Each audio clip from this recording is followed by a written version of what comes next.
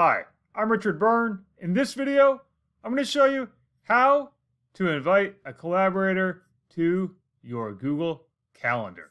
Let's go ahead and take a look at how to do this. Somebody recently asked me how to do it, so I thought I'd make this video. Let's say I have my demo calendar over here, demo number 10 I have selected, and I'm going to open up the options menu for it. So just hover over to the right hand side, select your options, and go into settings and sharing.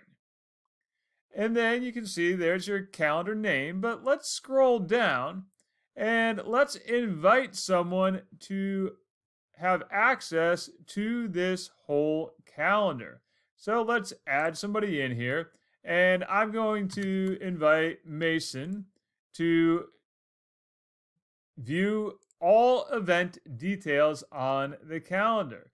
Now I can also allow him to make changes to events and I can let him make changes and also manage sharing of the calendar itself. So if you choose that option, make sure you trust the person you're sharing the calendar with.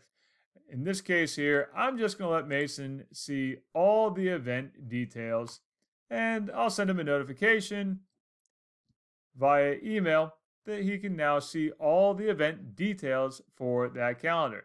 Now, again, if I want to invite him to make changes to events, I can do so, or I can let him make changes and manage the sharing of the calendar as well.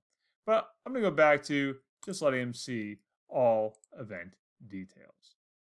So that's how you can share your Google Calendar with somebody else.